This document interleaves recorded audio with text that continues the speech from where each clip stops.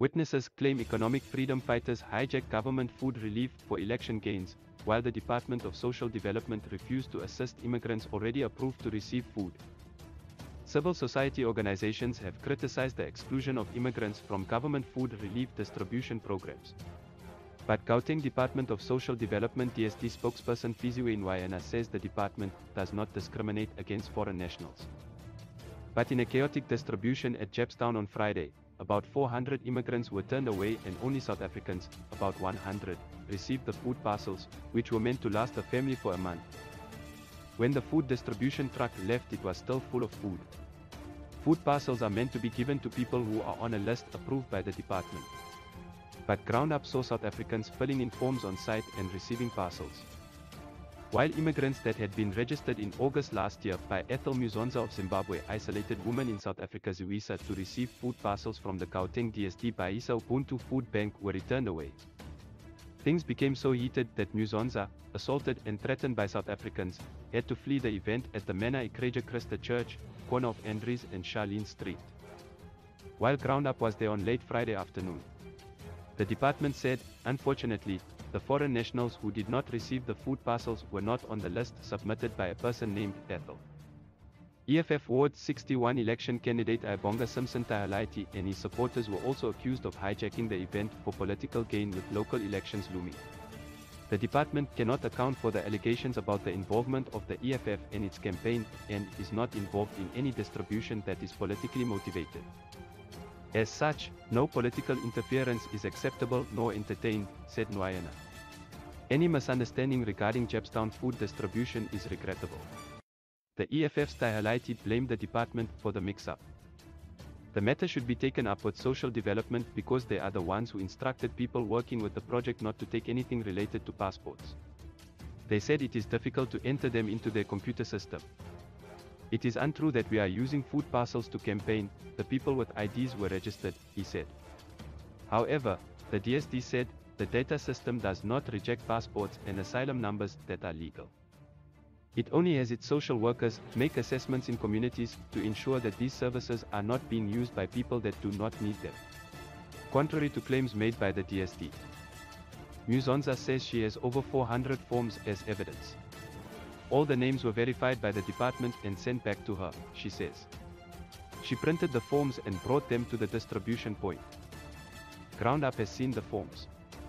Musonza said, people from the department tore up some of the forms belonging to foreign nationals in front of me.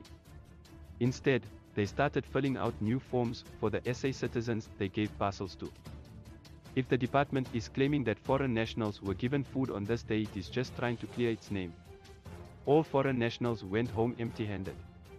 Among the immigrants turned away on Friday were people with disabilities. Blind people who are surviving by begging, and domestic workers who have lost their jobs due to the pandemic. They were mostly Zimbabweans, Mozambicans, Congolese and Malawians who live on the streets or in dilapidated buildings in Doornfontein. Inner city Johannesburg.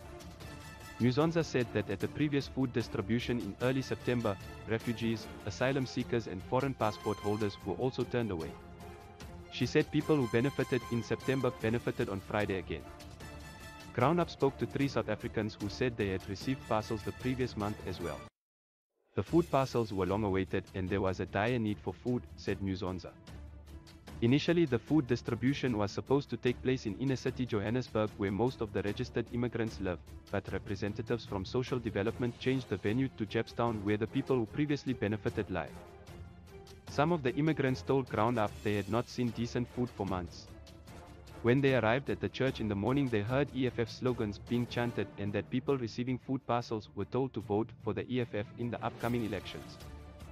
The food parcels were hijacked by EFF members who were making their supporters jump the queue, while blind people, the disabled, and many other migrant communities were turned away after walking long distances from their homes. They claim government food parcels were not meant for immigrants, said Musonza. We were surprised that even people who had passports, asylum and refugee documents were turned away. Two friends, both of whom are visually impaired, Edward Hamatserapi and Edmore Makangira, who left Zimbabwe in 2010, said that although it was raining they had walked all the way from Ellis Park to the assembly point at Nugget Street where they boarded cars to Jeppestown. Waiting the whole day only to be denied food was painful. For days we have not had any real food. It's hard to rely on the money we beg on the streets because sometimes we go home with nothing. Said Zarapi. To think that we promised our children that we would soon have food. No one knew that they would refuse to give us food, said Charity Daniel originally from Lilongwe. Malawi. The shelves in our home are empty. There is no food. If I do not get food provisions soon my family will starve, said Chiedza Ndlovu, originally from Zimbabwe. She lost her job as a domestic worker due to the pandemic and now sells sweets on the streets. She too returned home empty-handed. What happened did not surprise us. The South African government has been excluding us from food parcels since the pandemic started, said John Msusa from Congo. This exclusion is consistent with the policy of the DHA making migration and movement of predominantly black African people a crime, commented Sharon Ekambaram, Lawyers for Human Rights Manager for Refugee and Migrants Rights Program. Please like, comment, share and follow this channel for more information or updates on news and entertainment.